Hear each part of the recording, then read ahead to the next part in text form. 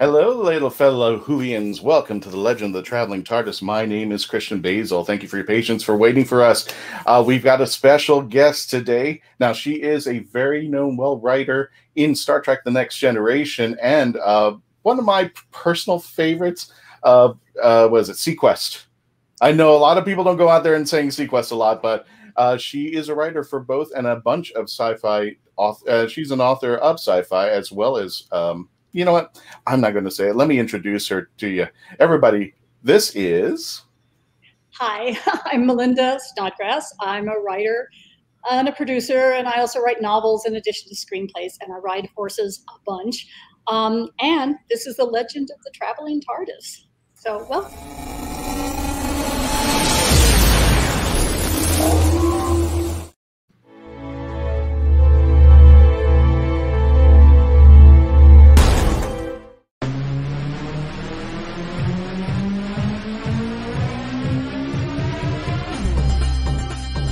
My name is Christian Basil. Years ago, I had an idea. I got myself a TARDIS. Took it to new places, met a lot of new people, took some great pictures, and talked Doctor Who. From Krypton Radio and the creators of the Hanging With web show, this is the legend of the traveling TARDIS. Join me on my latest adventures and become part of the legend.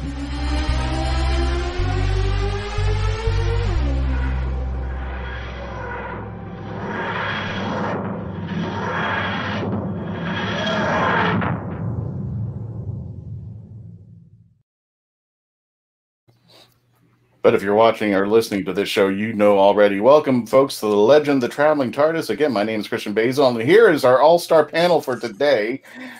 I got I got an interesting team today. I, that's a bad word. I have a wonderful team today, but they're very interesting. Trust me on this one. First of all, I'm going to introduce our guests before we get to our big, big, big, big special guest over here. To my, I didn't want to say to my bottom. you just have my friend. That would have just been. Rich. For those of you who are not watching and listening to this on, on your on your, uh, you know what, Mackenzie Flohr author of The Rite of Wands. Welcome back, Mackenzie. Where have you been, my love? Oh gosh, I've been doing a lot of behind the scenes stuff. I'm working on some secret projects for Hollywood and Broadway, as well as the screenplay of The Rite of Wands. That's it. You're just going to say, I've been writing all this stuff for Hollywood, but there, that's all going to be it. No, no, no little insiders, no nothing. You've been away for so long, you're not even going to tell us what you've been doing. I can't yet. It's all under NDA. Otherwise, I would. Oh, Melinda, so you got got to work with here. While I've been away from your show, I've been really doing some big, big, big, big stuff over here. Speaking of big, big stuff, I'm introducing our friends uh, from Type 40 podcast radio show. He's been here before. Mr. Dan Henley was with us with a bunch of other podcasters. How are you doing there, Dan? Yeah, I'm fantastic. Glad to be back. I'm Birmingham's King of the Geeks, of course, and I'm the host and producer of Type 40, a Doctor Who podcast on the Fandom Podcast Network. We put out episodes most weeks, and I think this is my third time with you, isn't it, Christian? I think it's say like the second or the third time there. Yeah, yeah, yeah. Yeah. yeah. Don't don't yeah. Don't let people know. it might be held against you or something. Yeah, but this time to keep me in line, you've brought a ringer in, haven't you? You brought. I you did. Brought, my, that what I am? My, my little sister here. Your little sister Sarah. Yeah. Well, you know what? I, I see. I'm gonna razz her on live TV because I just Sarah just like disappeared from me, and I was just like, "Where'd you go?" I've been right here. I'm like, "You didn't write me back." It wasn't She's just worse you. than little sister. She's like my ex. it's like I just I'm not gonna write you back. I'm not gonna tell you what I'm doing. Ghosted yeah, by story. Thank you. Yeah, go. Speaking of which, Sarah, go ahead and introduce you to our friends over here. You're also on the Type 40 podcast. This is Yeah, a lovely Sarah. I am indeed. Yes, I am. Uh, I'm Dan Hadley's right hand woman, and you can find me on Type 40 and on Type Over 40 on YouTube. And yes, I'm here to keep an eye on all of you. So what am I doing here? If you guys are keeping an eye on me all the time, this is Nice there. And I want to introduce our lovely guest uh, who is joining us for uh, her for the very first time, the lovely Melinda M. Snodgrass, science fiction writer for uh, novelization and television. You've seen her work. I believe, and let me get, I want to make sure I get this right, Melinda. You've been for the writer for the second and third series of Star Trek Next Generation. Is that correct? And you've also written one of my favorite TV shows. It's my guilty pleasure. I don't care. seaQuest uh, DSV. If I'm not mistaken, there you've been a writer for that. Yeah, I don't care what people say. I love like. I love seaQuest. I love seaQuest. I, I like when it was seaQuest, when it was Rory Scheider, when all that was going on. Yeah, I loved mm-hmm. it there. But uh, you've also written for uh, the Outer Limits, Odyssey Five. Um, just for the folks who may not be familiar with you or your work, Melinda, tell us a little bit about yourself. Um, I'm a recovered lawyer. I used to be. You're what? Wait, wait, what was that? yeah, I was an attorney, and uh-huh. mercifully, I got better. Um, what does that mean? I, I, had a best friend who was a novelist, and uh-huh introduced me to this group of writers. And it was Roger Zelazny and Fred Saberhagen. And I thought these are the most fascinating people I've ever met in my life. Um, and I want to be with them. I don't want to be with lawyers anymore. And I started writing in secret and, um, you know, eventually sold a book. And, you know, there's this sort of weird you know group of writers in New Mexico that developed. I mean, George R. R. Martin moved down here, and George and I got to know each other. And you know, there was Roger Zelazny, Walter John Williams. I mean, I you know, it's like this huge clump of science fiction people. And I was flying once, and a gentleman said to me, "Oh, you're a writer, and uh, why, why are there so many writers in New Mexico?" And I was like, "Well, you know, it's inspiring, and there's three, you know, three different cultures, and you know, it feels." And he went, "No, it's because it looks like the moon." No, wait, wait, wait, wait, a minute, wait a minute. What? How is that a thing where there's like so many writers in New Mexico? I didn't know that was a thing. What? What? How is that lead? How's that put together? I just, I think part of it is this is a beautiful, beautiful place, mm-hmm. and I do actually think, and there's a huge colony of science fiction writers here. Uh, James S. A. Corey, the two writers who are that pseudonym, right? Mexicans, George. I mean, I think part of it honestly is that it's inspiringly beautiful, but I think the confluence of three cultures really makes it a place where you can see how that would work. And, and especially if you're writing about alien cultures, you know, mm-hmm. intersecting with human culture. And we're seeing that happen between the Hispanic, Native American, and Anglo, you know, all on display here. And right managed to get along pretty well. I mean, we're kind of, I feel like we sort of could be a model for, you know, a world in which it feels like diversity bothers people and we kind of just do it naturally here. we're like, we all love green chili and, you know, we're all like, okay, it's cool. Um, so we ended up with this huge colony here and they inspired me and helped me. I mean, it was George who helped me get into Hollywood. Um, and I think that's one of the things I love about this profession is that everybody pays it forward. I mean, in this, nobody seems to think, oh, the pie is getting smaller if you get ahead. It's more, look, we're making a bigger pie, you know, let right. me help. And I find that just to be wonderfully inspiring. And um, so that's how I came to it. I came to it because these are interesting people and and I also hate occupying an office where somebody tells me I have to be there for eight hours a day. oh yeah, I, I, yeah, I got before I go into the show, I, I I can attest to that. Yeah, and then you work from home, so mm-hmm. you're you're hooked up like Neo in the Matrix without yeah. the fluid, and they just and you're just you're doing what you're supposed to be doing, and it's just like, oh my god, if I got to go pee I'm, I'm, sort of I'm fascinated, Melinda, by you. You're speaking there about the about the uh, cooperative thing between writers. How you uh, it's quite communal and supportive. But then when you started speaking, you mentioned how you started writing in secret, and that's such a romantic.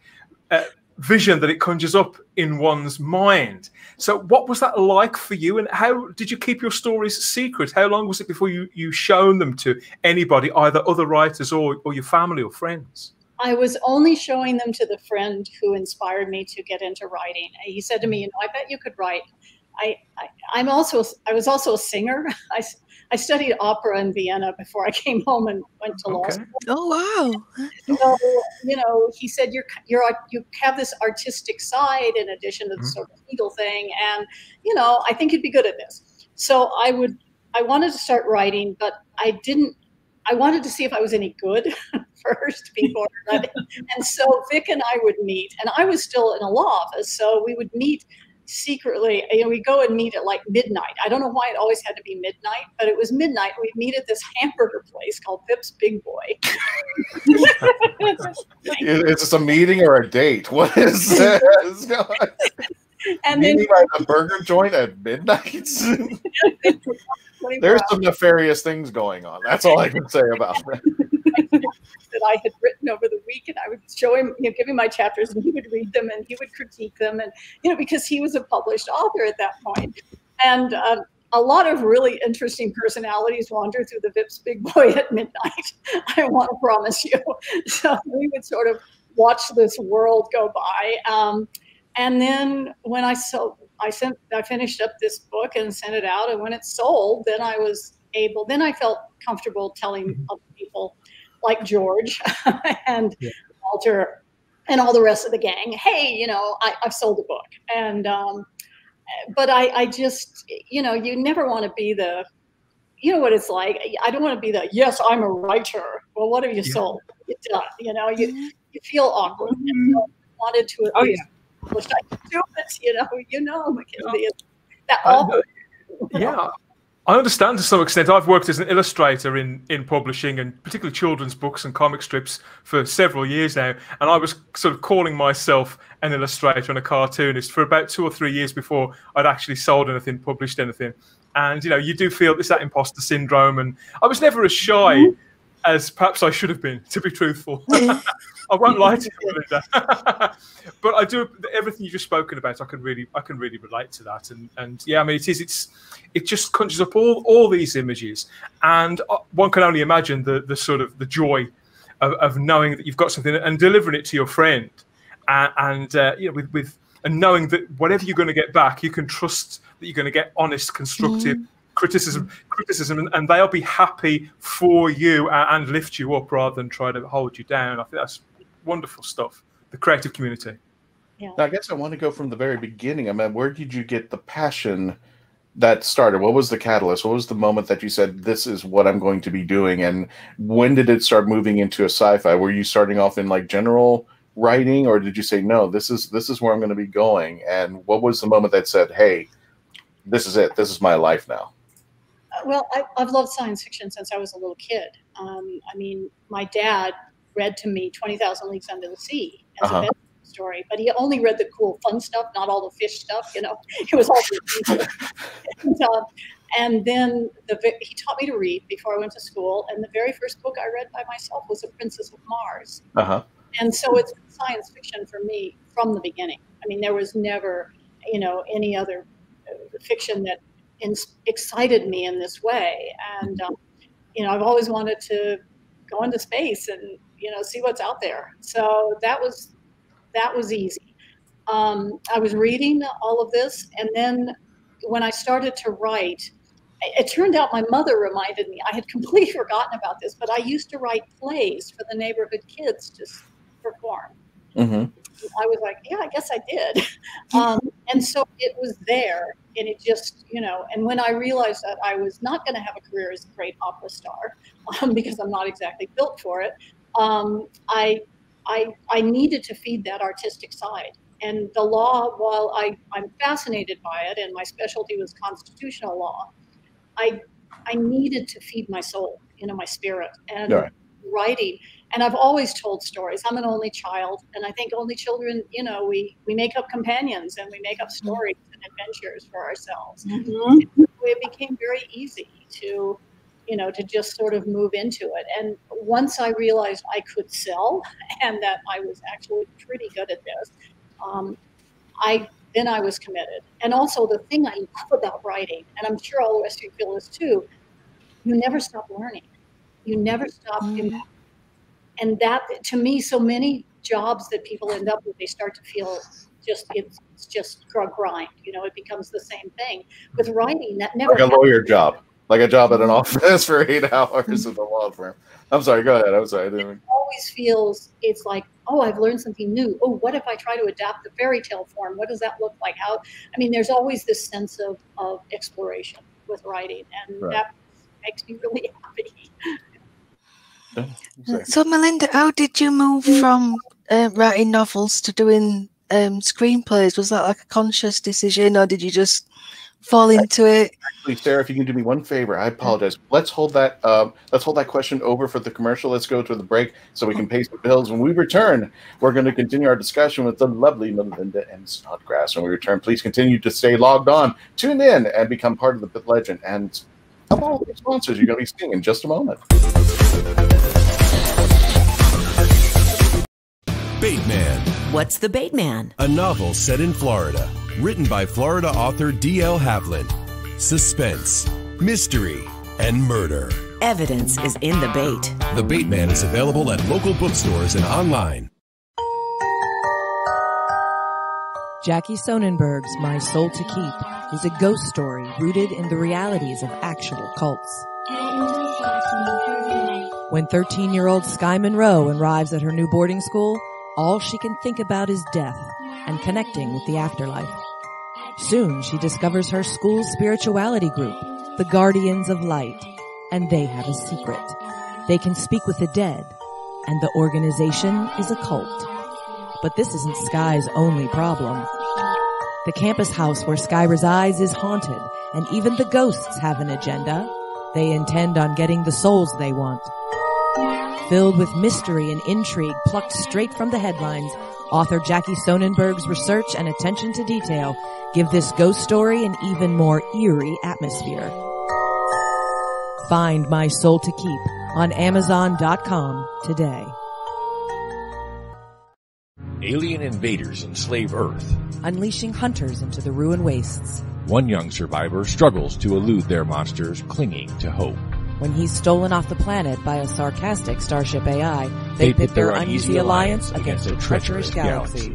Explore a whole new verse of barbarism and betrayal Wonder and Adventure in the Scion series, by Michael J. Allen. beginning with Book 1, Scion Conquered Earth. Available in print, ebook, and audio on Amazon.com.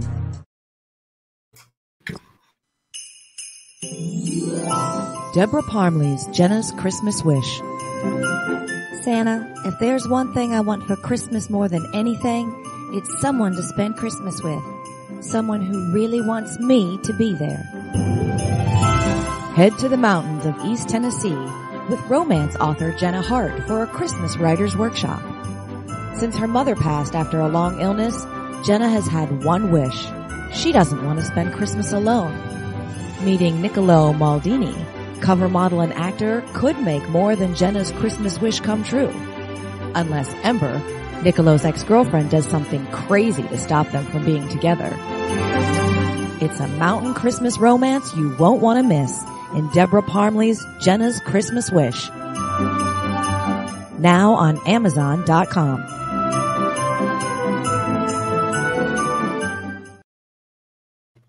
And ladies and gentlemen, welcome back to the Legend of the Traveling TARDIS. My name is Christian Basil. I've got Mr. Dan Hadley. I've got Sarah herself, starry-eyed girl, from both from the Type 40 podcast. I have the lovely Mackenzie Flohr, and I definitely have the Melinda M. Snodgrass. The very, very lovely there. And for those of you who are just joining us, welcome again. If you haven't, um, you can get, pick up some sponsorship. If you love this content, definitely give us a write up over there at Sage at the hangingwithshow.com or myself, Christian at Hanging With Show. If you want to sponsor the Legend of the Traveling TARDIS, you can see that the audience has been growing uh, on the Facebook page, over 36,000 subscribers in the Facebook page alone there, and and thousands of people watch every episode that we've been putting out out there. So if you want to get your stuff put out here, we're going to help you do that. Just write an email to either Sage at Hanging With, it's spelled H A N G I N, with show.com, or myself, Christian, at the Hanging With Show. We'll tell you about all the special pricing that we're going to help you out out there because we help our sponsors and our sponsors help us out. So there you go. Uh, we're going to continue with our interview with Melinda M. Snodgrass, and I was rude. Giving it to Sarah right back. Uh, Sarah, go ahead and finish your question there. My apologies. Uh, yeah, I I just pay bills. I'm sorry.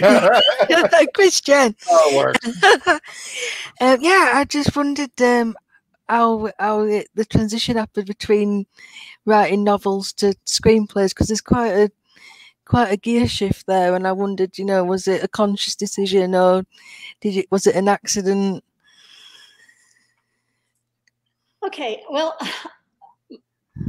my dad always taught me that always take risks, and if an opportunity presents itself, always take it. Um, mm.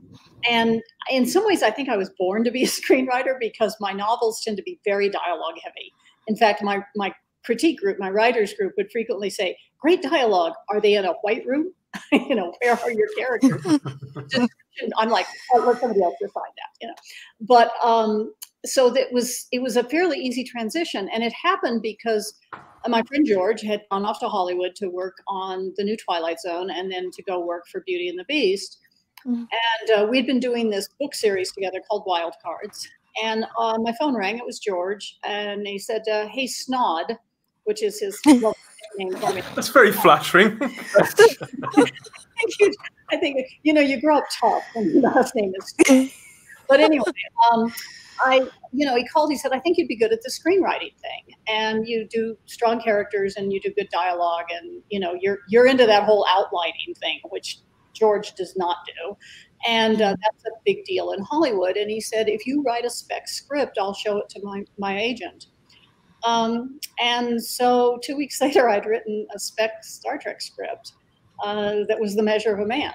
Um, oh. And uh, it was funny because George said to me, "You will never, ever, ever, ever sell your spec script. Okay, you know, you just don't do that. They're just a calling card, and if you, if you, they like the script, they'll have you in, and you pitch new other episodes."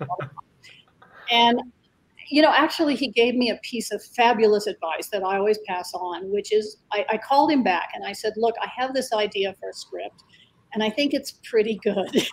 and um, and and I if it's never going to sell, I hate to waste it. And maybe I should save it for my pitch.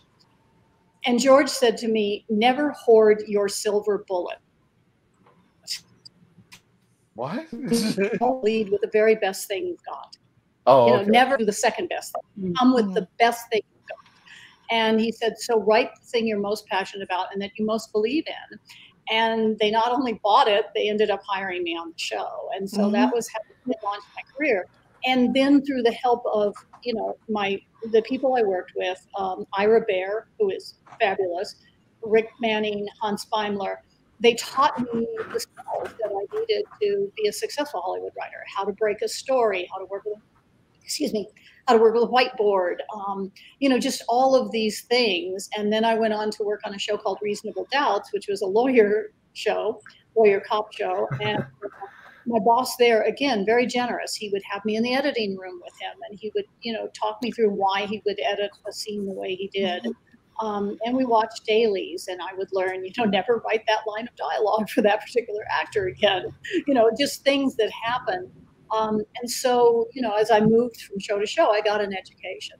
But uh, it started by writing a spec script. And now if people are interested and want to get into business the business has changed. You don't want to write a, a script for a show that exists. You want to write your own pilot or a movie because the agents and the producers and the showrunners want to see your vision rather than you know what you can do if you write an episode of you know MacGyver or something, you know, or some show that is out there, Hawaii Five O.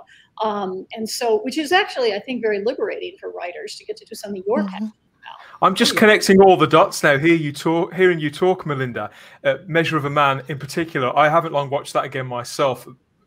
Beautiful. The, the, fact that you wrote it in a fortnight. I'll try not to embarrass you too much, as I said before, but it, it's one of my very, very favourites. But of course, it is a courtroom drama in a sense. Mm-hmm. Its its strength is in that dialogue. That is what I recently played that episode for my son. He wanted to sample some Star Trek from from the different shows, and I picked out that episode for him. And and the, the dialogue had us both sort of hanging on every word. So hearing you talk that you that your dialogue was always your strength, that you brought that knowledge of the uh, your previous career to the to the script presumably and to the and to the uh, your next career, it's all starting to make make sense even more so now. didn't hurt that I had Patrick and Jonathan delivering those lines. I don't suppose it would, no. I great actors, a wonderful director. I mean, everybody in that cast I thought was just superb, and uh, and, and uh, you know, it it um, and again, what it sort of demonstrates is is education is never wasted. I have used my law degree. I used it on Trek. It got me my job on Reasonable Doubts and on Profiler. Um, I a novel that I have, you know, that's going to be out in very shortly. I think it's available in a bundle right now. Is called uh, "This Case Is Going to Kill Me." It's about a woman lawyer in a vampire law firm in Manhattan, um, and so you know, I I have used that legal education constantly. Um, and so it is it nothing is ever wasted. I mean whatever it is you study whatever your hobbies are you're going to mine that at some point. I mean all, everybody who's a writer knows that knows that game. Yeah. Yeah. R- write what you know. That's the thing. Yeah. So um, i'm going to go ahead But and at the same time, that's the worst advice anybody has ever given to me. To say write what you know. And that's why people are telling me, ask me that all the time. They ask me, like, what's one piece that you can tell us? I said, don't listen to people that say write what you know, because if I did that, the Rite of wands would never exist. and I find it so interesting that a lot of the things that you've been talking about today are so similar to me. It, I have somebody who contacts me at like midnight, and he's the one that I'm working with currently on multiple projects in Hollywood and Broadway. And he'll contact me at like 11 midnight, and we just chat and get everything done then. And then it, it just right now I'm working on a pilot, and like you said, it is just a, a way for you really to expand yourself as a writer. And I never really thought of myself. Everybody kept begging me. They're like, Mackenzie, you got to do you got to do a pilot from the writer wise. You got to like, no, no, no, no, no, no. I want to be involved somehow, but I don't want to do that. And I'm like, yeah, with all this coronavirus and all everything, I'm like, this is the time to do it. do it yes For those of you just joining us, welcome again to the Legend of the Traveling TARDIS. We are doing a live chat as well there. We want to welcome Graham Krause. He says, Good evening, all. And Hi, Terry Graham. McIver, which show did you have the most freedom on working while working? I'm sorry, freedom on while working on a script? That's a good question. Um, probably reasonable doubts. Um, Okay. I, partly because I was the only attorney on the writer's staff, and um, it was a very small staff. There were only four of us, um, and so you know we could we could really explore interesting approaches. I mean, Star Trek, we had you know the burden of, of the techno babble. Ugh, Mhm. Help me, and um, and so that was you know, and and also you know, we had certain directives that our characters were perfect; they had no flaws, um, which is really tough to write drama when your people are perfect.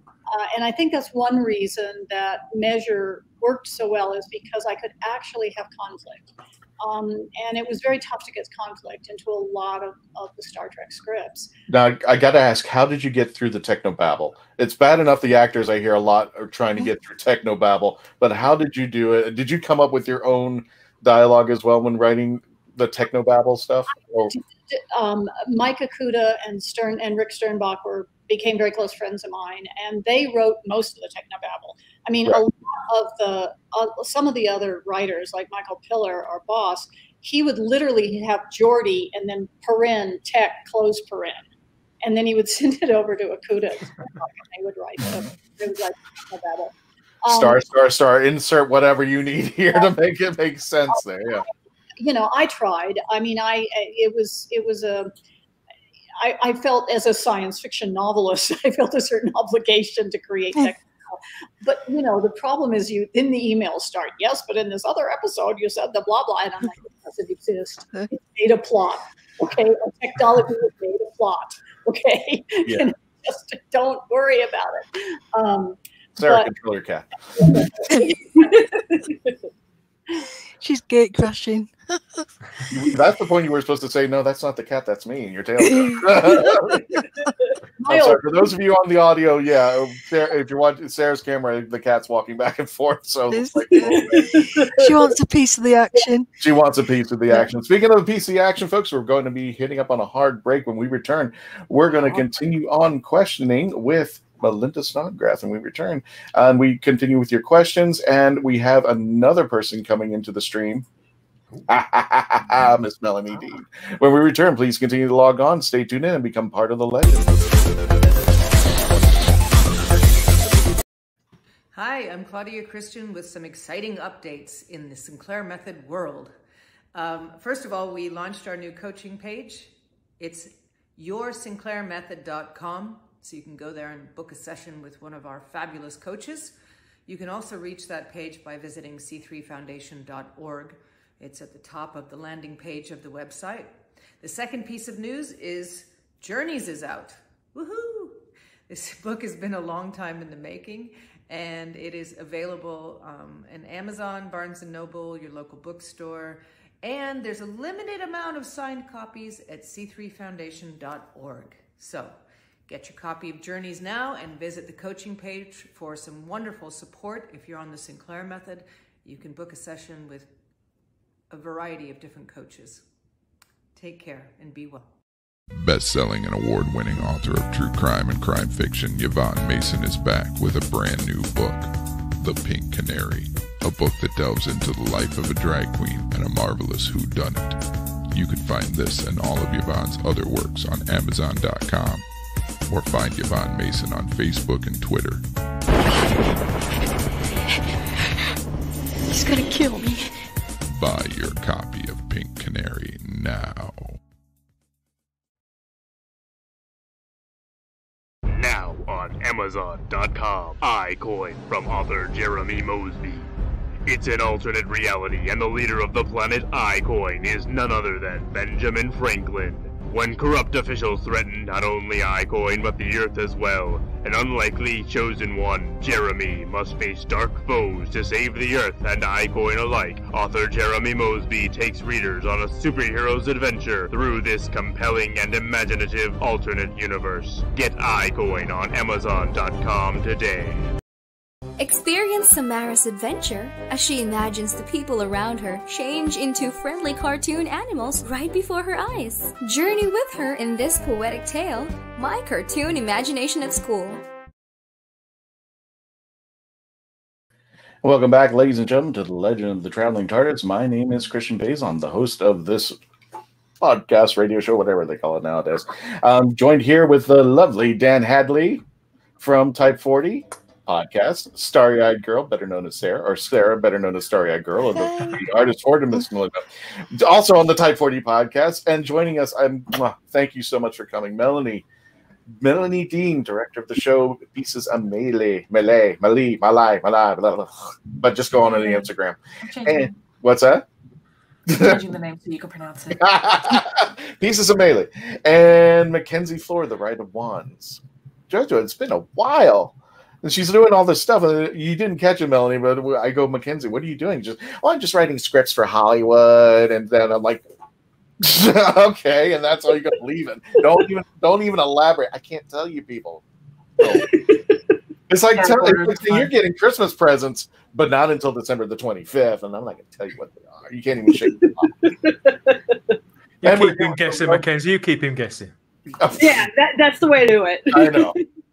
Take another six months off or something like that. And anyway, we're back with the lovely Melinda M. Snodgrass. Hi, uh, and I believe did one of us have a question, or did I just lose my mind out there? No, okay. I think it was just I have a million, but you got a million? Oh, well, well Melanie, you just came in here. Go for it. I know. I just showed up, so I showed up late. So yes, I, no. I have a whole sticky note cube of uh, questions. But and forgive me if I, because I am very, very much late. But um, when you write, uh, especially for like Next Generation or just any anything where it's going to be performed um, by an actor, do you have a tendency of either having those character voices in your mind or like in that that vocal pattern that we have in our internal voices as you're writing you hear it, or do you have a tendency of of writing and then kind of performing it yourself to see how it flows off off the tongue? Uh, excellent question. um, I listened when I knew I was going to write for Trek. I listened obsessively and I tried to get their patterns. And then I tried to, I, I always speak my dialogue out loud. When I'm writing a novel, I say the dialogue out loud, and especially when I'm doing a screenplay.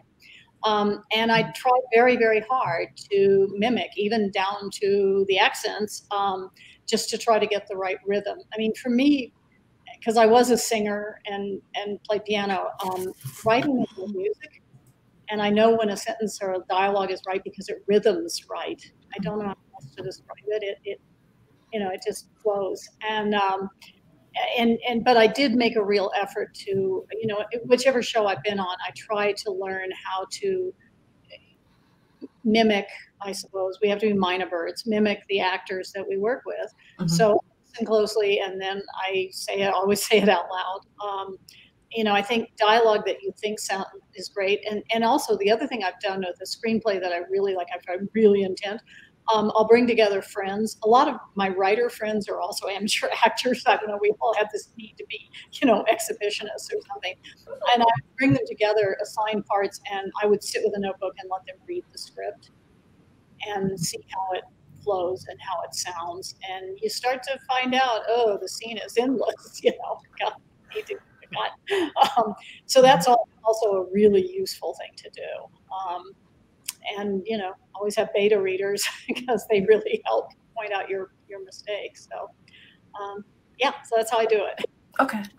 Melinda, going back, you said that you were a big sci-fi geek girl. What was your geekdom? What is your geek cred at that time and and as of today? Because you, w- w- you're on a Doctor Who radio show, so so some of it's got to be part of the Doctor Who. Uh, Oh, and, yeah. and who is your doctor? Well, my doctor was Tom Baker because he was the very first doctor I ever saw. I, I had never seen Doctor Who, and then I, they were carrying it on PBS, and I discovered it, and, and that was it. And the very first episode I saw was uh, oh Genesis of the Daleks, I think was the actual- Yes. And, oh my God. I, you know the man who stands there going, "Do I destroy an entire race?" Because you know, oh, I mean, I just loved it. But the newer doctors, I I have fallen in love with Tennant. Um, he, I mean, all of them have been fabulous, and I'm I'm a, I'm a season behind um, with Jodie because uh, I went to Roku and I can't. I'm going to have to get BritBox because I got to get. gotta get um, I love them all, but Tennant was terrifying. I, because he would go from happy, you know, da, da, and then he would look at you, and Yes. you're like, okay, Yeah. my heart has just frozen now. because to kill. Um, so, you know, he has in fact edged out Tom Baker as my doctor. Really? Okay. Well, But, uh, but I, you know, I, I love the show. I mean, when I discovered Doctor Who, I mean, there was Trek, of course, because you know, Star it was a spaceship, and and I'm a little bit more of a science fiction girl than a fantasy girl. You Uh-huh. know, I, I'm on a spaceship. Um, and I, I have to be honest, I, I break the hearts of Star Trek fans because they go, "What do you love best?" And I'm like, "Star Wars." And they're like, I adore Star Wars. I would crawl over broken glass to work on any of the new Star Wars shows. I would. I, I have a Star Wars novel I'm desperate to write um, that grew out of watching Rebels, and uh, yeah, I mean, I love. I love what we do, and we won, guys. I mean, we won. You know, I mean, the game, the video games I play, science fiction, fantasy games, you know, television, movies, um, you know, Agents of Shield, which is going to end tomorrow night. Oh, I love that show. I know. I mean, it's been. I was starting to rewatch it because it's so good. Person of Interest, um, which is, I think, one of the finest television series ever made, and it Oh, is with, with Jim Caviezel. yes, I never saw that. My brother, my brother said it was good. Yeah, okay. brilliant. And um, Jonah Nolan, who created it, is just. I mean, set, he sets up things in season one that don't pay off until season three, and it is a science fiction show. But you have to hang in there. You've got to wait about six episodes because at first Mm. Okay. neutral, but it's not, and becomes more and more, and it's all about AI, and it is amazing. I'm gonna write that down so I don't forget again. it's one of the few at Buffy. I mean, I own Buffy. I own. I own very few. Yes. Yes, but there are some that I do, um, and person of interest. And yeah, I could just go on taking up all this because this is what I love. I mean, I, I had a law professor who kept saying, "Why do you like all that crud?" Um, CRA, yes, an un- unpleasant word. I will be polite because I don't know who's listening. Because it, it, it, He's heard it all before, Melinda. He's heard it all before. Okay. Well, one never knows the age of who might be out there in the world, and you don't want to be. Okay. Well, I, I've heard it all, but I, uh, our audience who are maybe the younger type, put in more more colorful adjectives to, uh, to, to cover it up out there. But um, yeah, it, it, this is the golden age of television too. I mean, we have so many choices. So. Oh, absolutely. Especially with all the streaming content. When you think about Netflix 10, 15 ish Mm-hmm. years ago, where it was just, you know, put your DVD in the mail and we'll send you a new DVD. They weren't Mm-hmm. making original content. And now everybody is making original content and not just, yeah, it's just, it, it's almost YouTube quality or what YouTube quality used to be. Even YouTube's putting things out that are just absolutely phenomenal with the production value. It's exciting. I have the power. I have the power of the TARDIS behind me, the shower curtain. That I have the power of the TARDIS to take you, Melinda, to any. Pro- There's my TARDIS. I'm coming to get it sometime this month, uh, Melanie. I'm coming. I promise you. Okay. Um, I have the power of the TARDIS, Melinda. I can take you to any of your favorite geekdoms, Doctor Who, Star Wars, Star Trek. I can take you back to any time, any place, anywhere, and put you in the writer's seat of that time frame. Where exactly should I place you? Where would you go? Where would you want to be in the writer's chair with? Um, you know, it's it's it's got to be uh, the Star Wars universe. Okay. um, episodes four, you know, four, five, and six. Um, Star Wars, Return of the Jedi, and our, our um, Empire Strikes Back, especially. I, you know, it's just it's.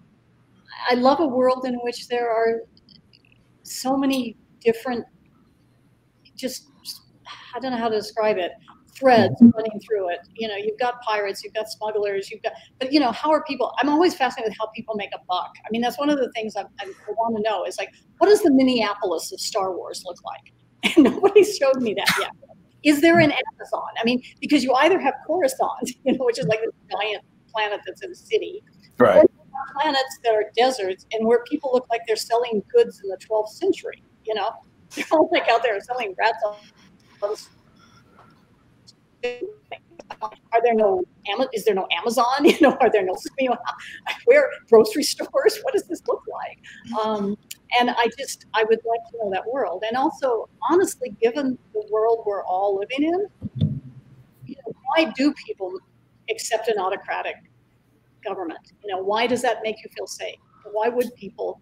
You know, and I you, you have to make those arguments. You're coming off the Clone Wars. There are billions of people dead you know, oh my God, he's promised peace and security and that everything's going to be okay. Um, and so, what does that look like? And and I just I find all those questions. I, to be honest, Trek became a little too clean for me, a little too neat.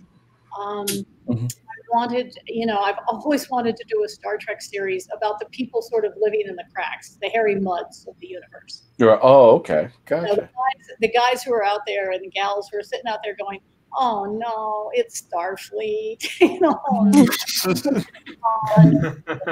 those people, and we never see them. It's always, you know, starships, and it, it, it's, and it just feels. And, and I'm sorry, I've never been able to buy the fact they say there's no money in, in Star Trek. I'm like, you Well, got, no, I mean, you know, the fun- 23, something has to have value. Well, no, no. Here's the funny part. What, what I thought was funny, and somebody had to explain this to me, is that if you notice in the original, um, one of the original movies, uh, in the last movie, what was it? The the fi- not the Final Frontier was uh, the Undiscovered Country. When uh, Scotty walks in, the first thing he says, "Suits me. I just bought a boat." And I'm just like, wait a minute, how did you buy a boat? You don't even have money. What's going on out there? I forgot about that. Yeah. With numerous lines like that. like, you have no money. How did you buy a boat?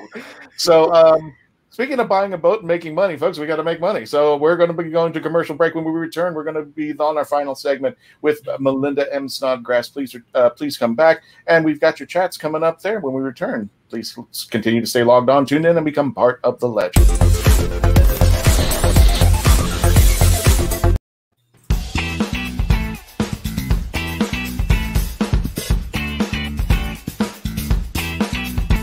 You have more options than ever before when choosing a film, a television or internet series, a book to curl up with, or even a radio show or podcast. Get to know the people who are creating for you. The Hangin' With Web Show. hosted by award-winning author and journalist G.W. Pomichter, is the internet's fastest-growing web talk show series. The Hangin' With web show features professional, yet casual, in-depth interviews with creative arts and entertainment pros. Meet the people behind a digital revolution in creating more quality content than ever before in the history of media. Find the Hangin' With web show on YouTube, Facebook, or Twitter, or simply go to www.hanginwithshow.com. That's www.hanginwithshow.com G-I-N with show.com.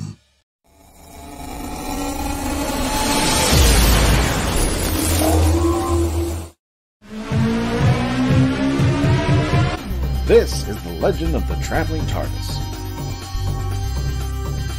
Follow us on Facebook, Twitter, and Instagram. Subscribe to us wherever you listen to your favorite podcast. Also catch us on the HWWS Web TV YouTube channel. Subscribe today and become part of the legend. And welcome back, ladies and gentlemen, to the Legend of the Traveling TARDIS. My name is Christian Basil. For those of you just joining us on the live feed, I've got the folks from Type 40 Podcast, Dan Hadley, and the lovely Sarah, better known as Starry Eyed Girl, joining us. Also, director Melanie Dean, Pieces of Melee, and Mackenzie Flohr from the Right of One. She hasn't been here forever, so I'm just going to give her a hard time throughout the entire show. But we're going to continue our final chapter with Melinda M. Snodgrass, author and sci-fi writer of some of the most incredible things. Uh, you know, I'm going to ask this question: of all the things that you've written, Melinda, what is the most? What is the one piece of of, of literature or, or, or writing that you are most proud of? Not not the best, not necessarily the best, but the one that you're most proud of for writing. You know, Did I just tell you to pick your favorite child? Is that what I just did? no, I mean, I think it has to be Measure of a Man. I mean, okay. you know, I, um, the beauty of science fiction for me and, and fantasy is we can talk about really difficult issues in a safe space. Because it's a little bit at arm's length, you know? Mhm. And Yeah. I just, I felt like we could, I felt like I said something there. I mean, I, I- I've done good work on other things. Um, I've written good novels that I'm proud of. Um, and I, you know, I've, I, I wrote a thread for Reasonable Doubts that I was quite proud of. Um, but I think it's got to be measure. You know, I, my friend Len Wein, um, wonderful comic book writer who created Wolverine and Swamp Thing, and and and he said to me once, you know, I was feeling a little bit low because you know how Hollywood is. All it's it's what have you done for me lately? And you know, it was it's tough to get back in if you've been out for a while, and you know, it it can be a tough business. And I was feeling pretty low, and Len said to me, said, you know, I've been where you are, and I was feeling pretty bad. And then a friend said to me, whatever happens, Len, you created Wolverine and you created Swamp Thing. So even if, you know, you can always, and I think for me, I can always say, I wrote Measure of a Man, and I had the good fortune to have wonderful people bring it to life in a really powerful way. Um, and so, yeah, I'm I'm proud of it. Yes, and, and, and would I, I would do it better now. I mean, because it was I was early in my career. Um, so there's some places where it drags, and I I look at it. Oh, I wish I, you know. Oh, please don't have them enter the room. You know, come into the middle of the scene. All the things you learn when you've done this for a while. But overall, yeah, I guess that's probably my my favorite child. So, I'm so happy that you said that. 'cause I absolutely love that story. I think it- Data is my favourite character from TNG, and what you did was, you know, you elevated him because I think in the first season, it was kind of like the comic relief a lot of the time, and and that you know, he, you, you gave him a soul in that in that story, and in um, Pen Pals as well. I really like that story as well, and his connection to the girl. yeah. I mean, you know, Um, but yeah. the the most interesting character was the robot. Um, but, Mm. but he was. He's a wonderful character, and Brent brought him to life so so beautifully. but I think I think one of the best, and I think it, it contains one of the most best scenes in there where, you know, where Patrick is. uh, one of the the greatest lines I've heard in Star Trek is like, "Well, we've been going out there just trying to discover life. Well, there it is, sitting right in front of us Yes, the whole yes. time." And I, I you know, the, the, I I would actually say that that kind of was the precursor for now. I think you spawned on Star Trek Picard in the direction that they got into that. I think you ha- you were a testament to that. So Yeah. I I think they borrowed. show based on measure. You know, um, the the underlying foundation of it was was certainly measure. You know, So- Right. Speaking of measure, because I'm a horrible segueist, we've still got the chats coming in there. We got Graham Krause that says, with COVID affecting production, that might be changing the opportunities in the process. So, have you had any challenges in now 2020 COVID world? Yeah, I mean, you know, the pilot I was supposed to be shooting this summer, uh, we're not shooting it. I mean, you know, I'm, I'm Oh. doing boring things like making a lookbook and, you know, waiting to have the director put together a sizzle reel because I don't know how to do that. You know? um, and uh, you know, we're just sort of waiting to when we can get back. We do have friends who are in Zoom rooms, um, and I would love to get into one. And my manager is following up on uh, some potential stuff, but you know, everything's pretty much on hold. So thank God I have these novels, you know, that I can go back to, and I can because I can't stop writing. You know, it, it's like a it's like a disease. You know? I don't know how to tell these stories. That's not a bad disease to have. If you're going to have No. a disease, So it's more of an addiction. It's like a, Yeah, it's, it's, it's an addictive Yeah. kind of personality trait where you just can't stop. Yeah.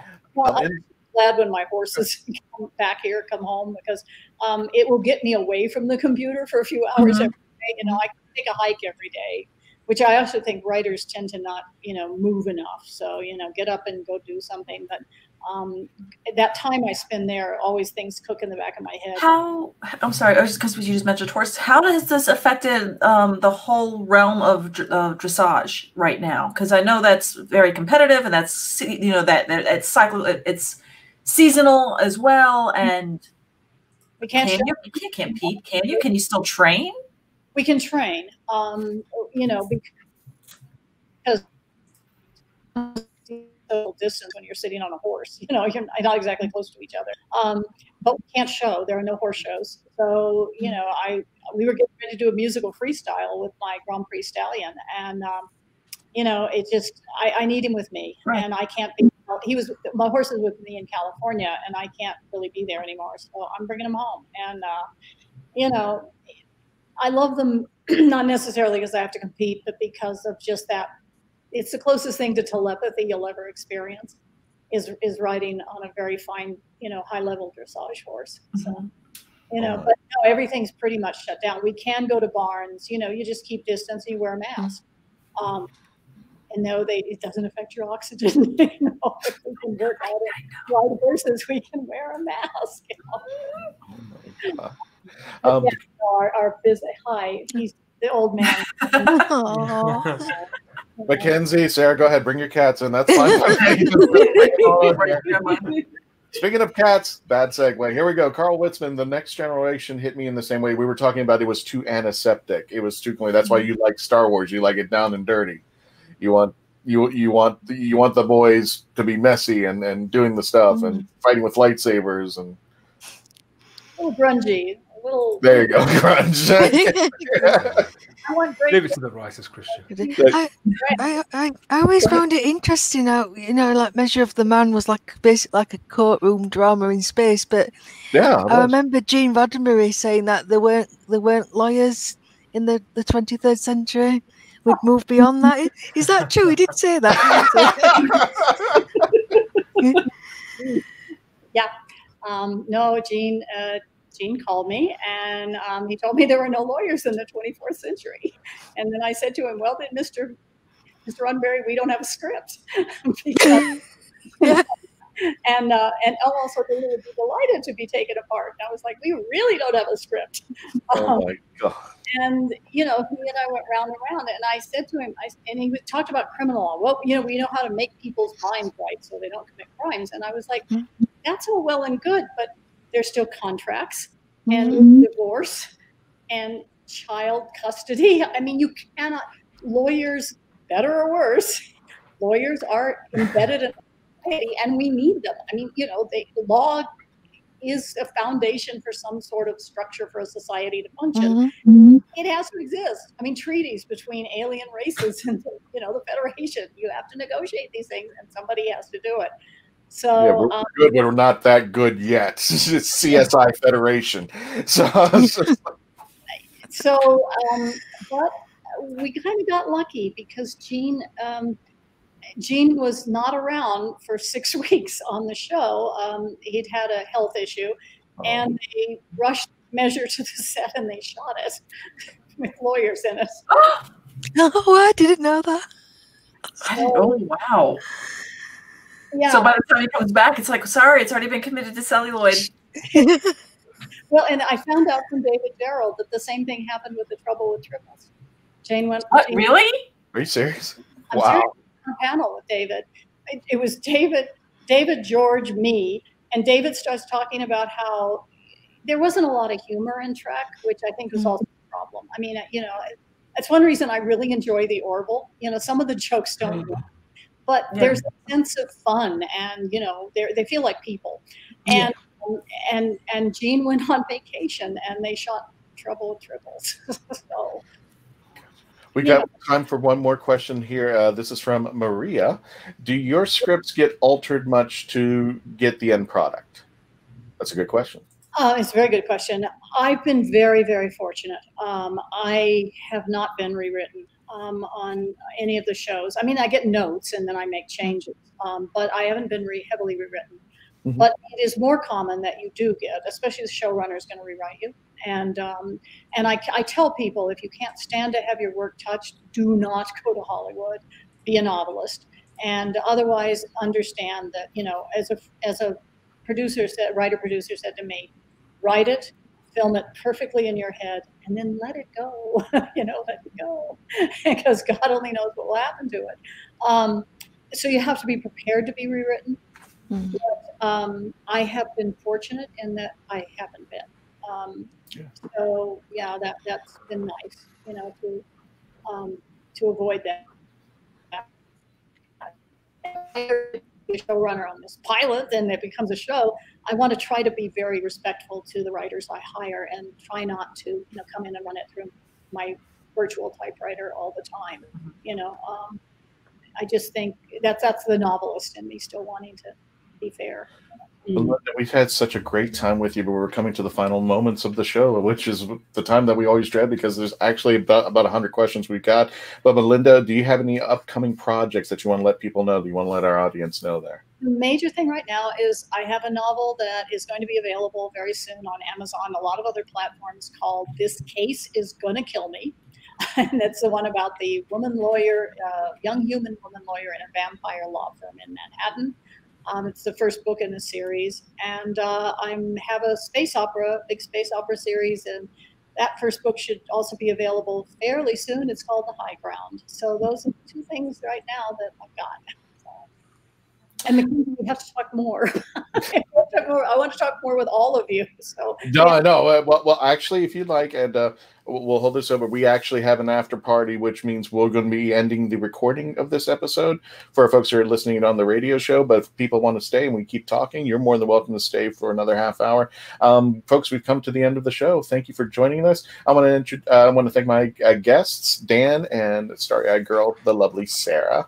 Thanks for uh, inviting us. tell- tell- yeah, tell Thank folks where they you, it's a reach you on pleasure. the, on the Type 40. Please tell them where they can reach on Type 40. Oh, well, you can find Type 40, a Doctor Who podcast. Most weeks, new episodes drop on the Fandom Podcast Network. We're over on Apple Podcasts, Stitcher, Google Play, Podbean, the Podbean app. Uh, where where else are we? Tune in. We're over on there. We're streaming on iHeartRadio, absolutely everywhere. And as from this week, we're also on YouTube on the mm-hmm. Fandom Podcast Network's own channel. But that's what I, I produce and host that along with Sarah and a couple of my other friends. Uh, but we've also got a YouTube channel ourselves called The Spacebook, where we're putting out stuff about Doctor Who and mm-hmm. Star Trek mm-hmm. and James Bond and whatever else comes to mind. It's all all happening over on YouTube. So look for the Spacebook and yeah, look for Type 40, please. I'd say folks follow Mackenzie Flohr, but she'll be back in like six months for another episode out there. Check out her books in the Rite of Wands. Check out Melanie's stuff, Peace and Melee on the Instagram. And again, we want to thank our special guest, Melinda M. Snodgrass. For those of you who want to stick around, we're, we're going to go into our after party in just a moment. I want to thank you all for supporting us. 36,000 Facebook subscribers and growing like mad, like wildfire. Thank you again, folks. Please continue to stay logged on, tune in, stay safe, and always become part of the legend.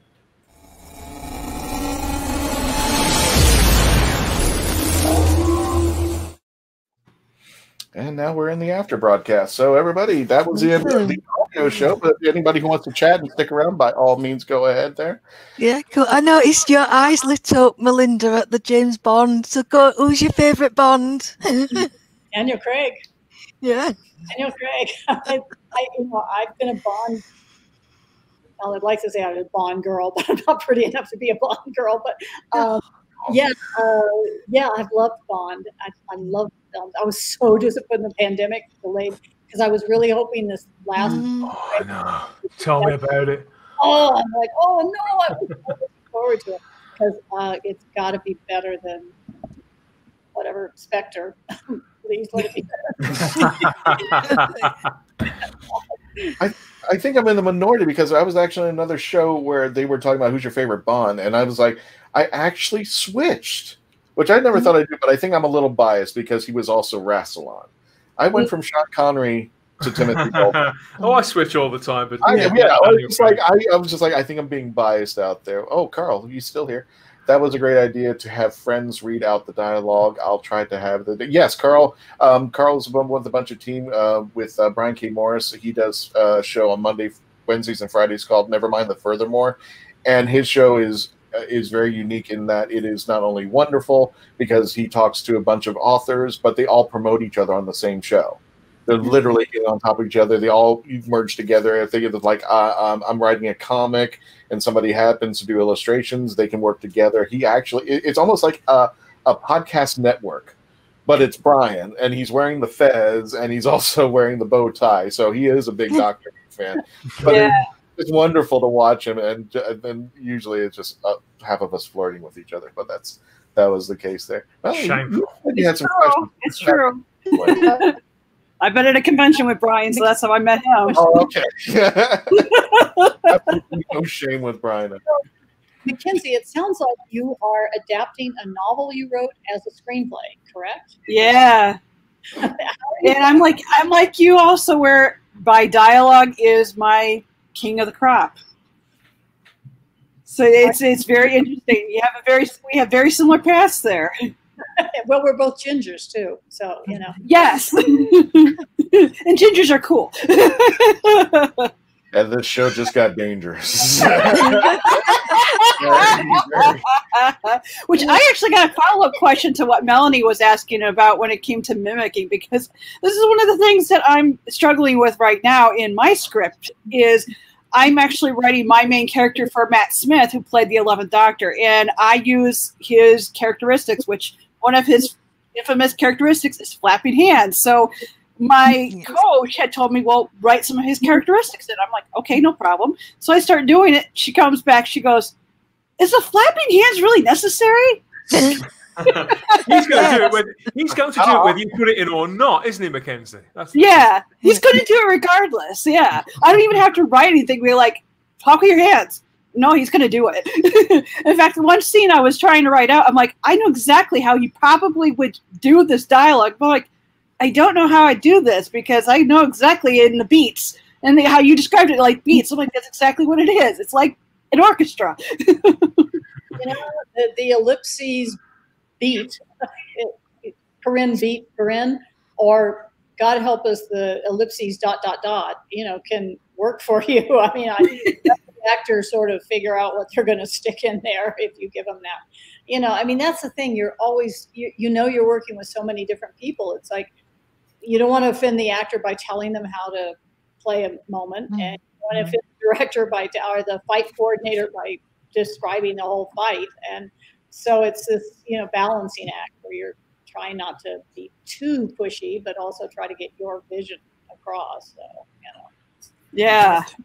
I had a friend that had that that um that that, kind of arresting moment when he was because he's very much in in the novelization world, and he started trying to transition into doing script writing and it was just like independent script writing.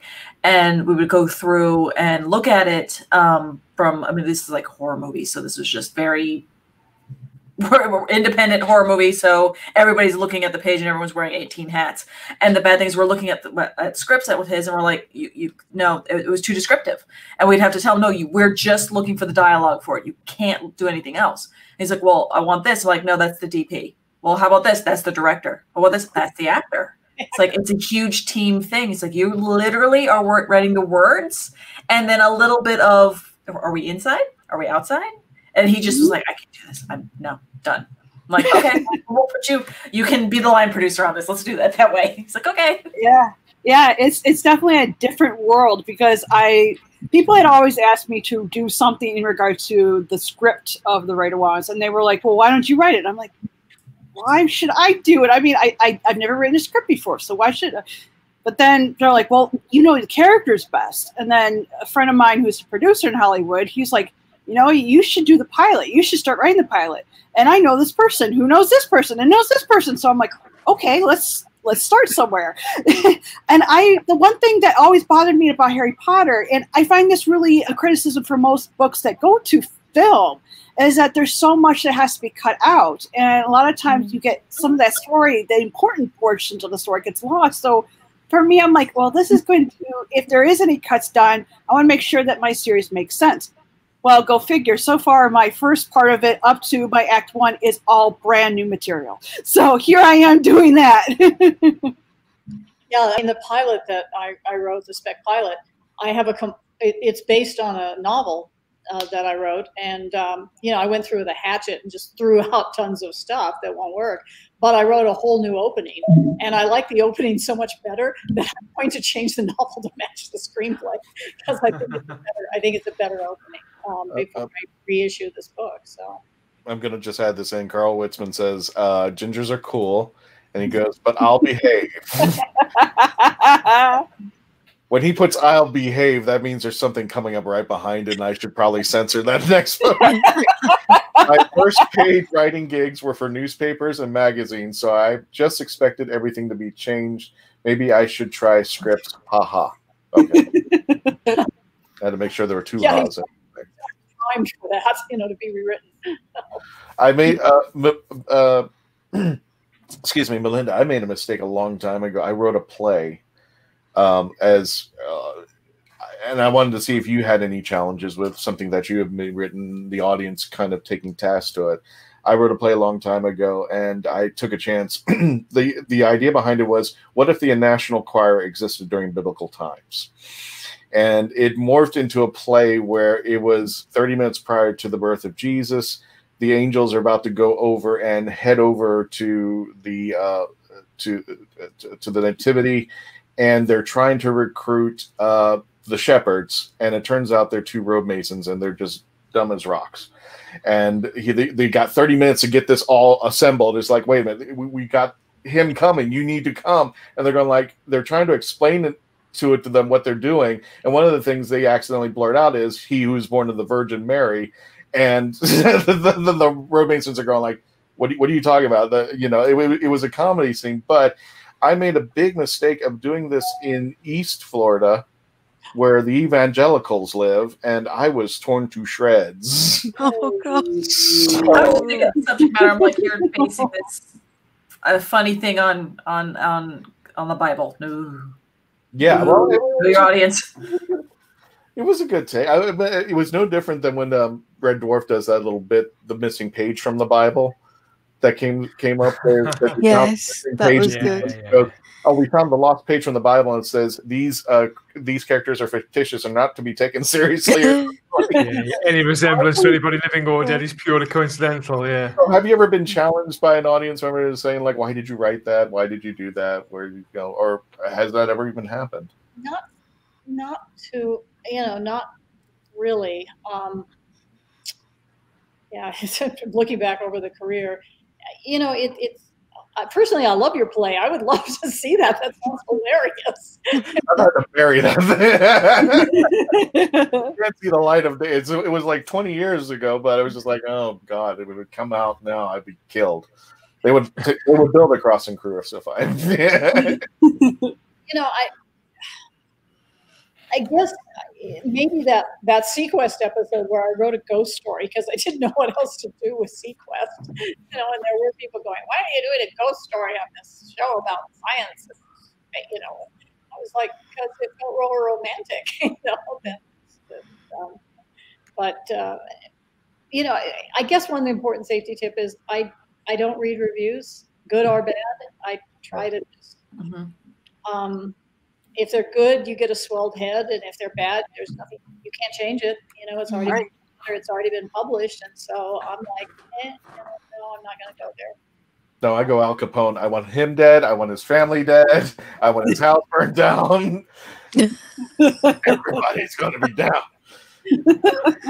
I can't. Re- I, yeah, I can't review reviews on this show for crying out loud. If I get it wrong, I'm just like, what? What show did you watch? What were you thinking? I was just like, yeah. I, I see people. Um, I, I ended up on another podcast, and uh, this guy has like t- like he's in like the six figures of YouTube, and I ended up on the show, and I was reading the comments uh, uh, from people who were talking about me, and a lot of them were positive. But there were a few that were like, "Who's this idiot? What's he talking about?" Yeah, I, I get those as well. When I, I, yeah, yeah, I've had those, mate. Don't worry. I've gotten them too as as the author as well, and in fact, I've gotten two pretty good ones that were real doozies. One was actually a a troll that wrote an encrypted message to Matt that basically said that he had to hire a somebody who actually knew how to write and write fantasy. I'm like, well, number one, he doesn't at this time he didn't know about the book. So I'm like, well, number one, he has no idea. So why are you writing it about him?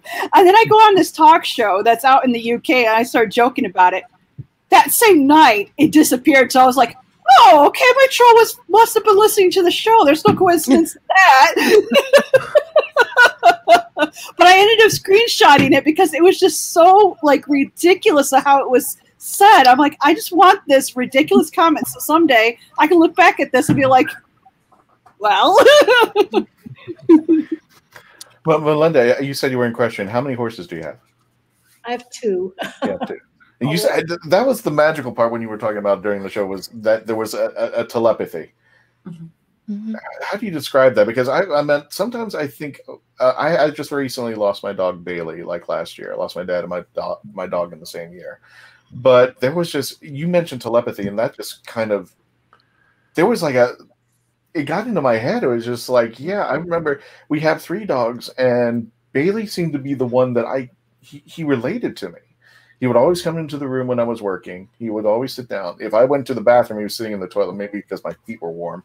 But he was, you know, he there just seemed to be like an unwritten thought process between us. He kind of like knew what he was doing, or it was just like basically gave me the stare, like feed me, you know. Just, but tell us a little bit. Tell me about what you your telepathy. What, what how do you? Does that make sense, or is this just like? No, because the routines have to be memorized, don't they, by by both you and the horse? Really? Well, you hope the horse doesn't memorize it because, Oh. yeah, you really don't want them just. I got this, mom. I got this. Oh. we're not doing the Beyond yet. No. and so, I'm going to the bathroom. You can't follow me. No. um, and in fact, when I'm practicing tests, I often ride them out of order. So Oh. learn them or figure them all out.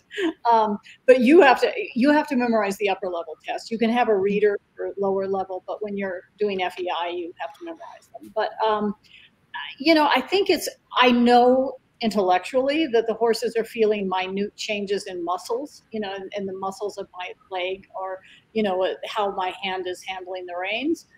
But it feels like telepathy. It feels like if I just think halt, and then they stop, you know, and it's just, I mean, it's it's it's amazing. I I mean, but dressage is definitely the sport for people with OCD. You know, like enter at A, X halt salute, you know, and, and it's all, everything happening at these precise moments. Um, and so, you know, it is a little bit weird that way. but I I love it. I mean, I jumped when I was younger, and then one day I went, you know, you rarely hear about dressage riders getting killed, and so I. That's true. That's true. Wait a minute. That's true. You didn't want to be a statistic. yeah. I mean, I broken. I had a horse slip in the mud and fall on me and crush my ankle. And, oh no! Oh my god. It's a dangerous sport, but it's a really wonderful sport. So. Oh. It's one that I, I thoroughly enjoy watching where it's like it's almost like the Olympics where I, I don't avidly follow it, but if it the second it's on and I know it's gonna be on for a while, then next thing you know, it's like I like to think that I'm like some expert on Twitter. Saying, Oh my god, could you believe that this, this, this, this is you know, just like how everybody else kind of gets into things like figure skating, like in the Olympics, nobody cares about it, but when it's on, everybody knows exactly how something's supposed to be be performed. Oh, I my Facebook crowd, I mean, my Facebook periodically I'll come from a lesson and it will have been amazing. And I'll go into this thing about, yes, I'm feeling the, you know, the straightness of the, when I'm trying to do tempi changes. And I realized today that I needed to da da da, and I have to give an inside rein half halt followed by a, you know, and I go, wow. you know, and then people come back and go, okay, we have no idea what you just said, but you're obviously enthusiastic. and, I'm like, yeah, I know, I'm sorry. And now I've taken to going horse neep coming, you know, or opera neep coming. You know, that's another one. Um, would you all like to hear Kathleen Battle sing this marvelous thing? And most of them are going, thank you, no. that'll, that'll be a hard pass for me. Well, I'll throw this. I'll throw this question out there since it, it seems to be. We just had an episode on. Um, what was this? Did we do this on Saturday? God, I don't remember what, what or Sunday. The Christopher Eccleston. No, Monday. Finish Monday. Oh, Monday was it? It was yesterday, honey. Was it? No, wait. Hold on. Sunday. It was Sunday. Like two or three. I know there was a day in between. I was just like podcasting a lot. Mm-hmm. Yeah. It, it's this time now that the days are just rolling into one, and time just doesn't make any sense anymore. Oh yeah, totally. Because it's like I had to write my coach. I'm like, I'm sorry, my act one is not finished yet. I have I'm behind. She's like, it's okay mm-hmm. because I'm behind too. I'm like, oh mm-hmm. good. I swear, I swear, I know that I, I know I'm just fooling myself, but I swear that time, yeah, as you mentioned, Sarah, time has no limit here. But I don't go walk outside. It's 9 p.m. and the sun's still out. I'm like, mm-hmm. the hell? Earth's going like just for Chris. Eh, you, you remember that cartoon when Donald Duck's walking through the uh, the desert and the sun's just beaming up on him and he's walking across? That's me with the sun. It's just like I'm still here. it's like I'm just going to follow you, sir. Uh, sadly, Christian, the sun has gone in here, so I hate to break, break up Yeah, party. yeah, I'm gonna have to Okay, go as no, well. It's, it's getting late. Very late in the Um, UK. We both need our beauty sleep, don't we, We do. We Well, do. not Sarah. You do definitely. There, but, Dan, you wanted me on the show, right? You wanted. You, you, will this time work next week or? Uh, no, because we're not recording at the moment. We've just finished. We've just finished season two. Oh, but, but, but yeah, but yes, I'd love to have you back back in the autumn when we come back. We're back for season three. Yes, yes, all the letters that didn't do any good. We are back, and yes, we're going to invite Christian on and have another chat, and we'll mess around a little bit, and we'll drive you mm. mad for an hour or so. Mm. But thank you so much for the invitation, Christian. It's lovely to meet you, Yeah, Mackenzie you. and Melanie, wasn't it? And uh, it- well, everybody really, and Melinda. I, I've loved your work for years and years. It's mm. such a thrill to meet you and speak to you, and to hear some about your story, your sort of journey through this career. So yeah, it's, it's been delightful. Thank you so much. As, yeah, I be I was fangirling when Christian, you know, suggested it. I'm like, yeah, I get to talk to Melinda.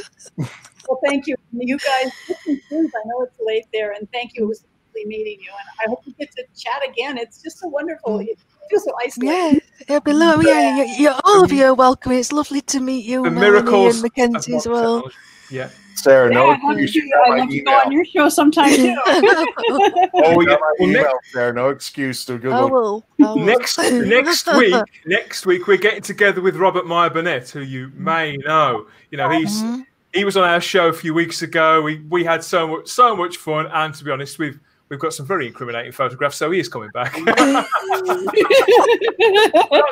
That's uh, next week or the week after on the Spacebook channel. But yeah, it's lo- lovely to have met you all. Thank you so much for, for spending time with us. Good night. Good night, everybody. Good night, everyone. Thank you. Bye bye. Cheers, Christian. Night night. Bye, Christian. Hi, guys. All right. Well, um, today is the 341st of November.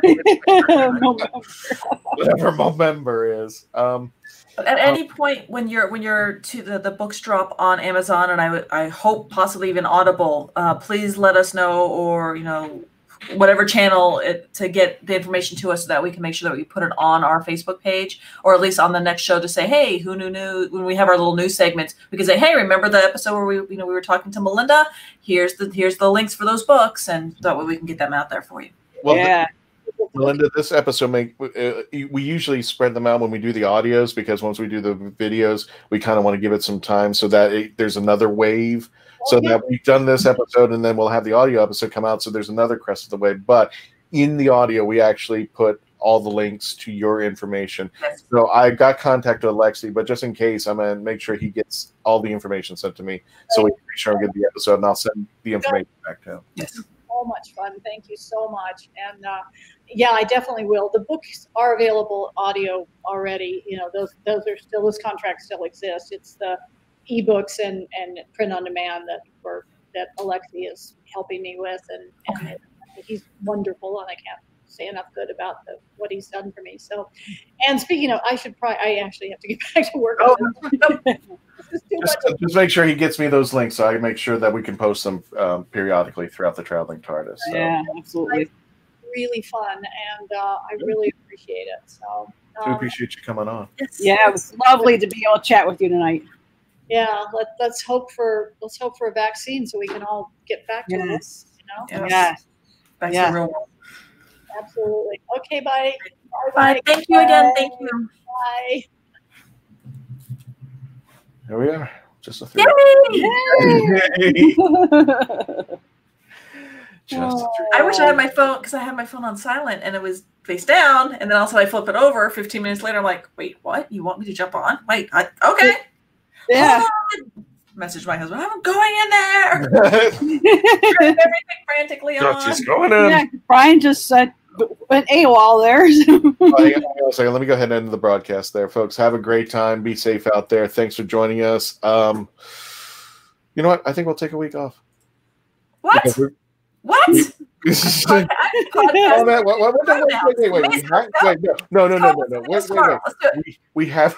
I was on. I was I'm on gonna kill me.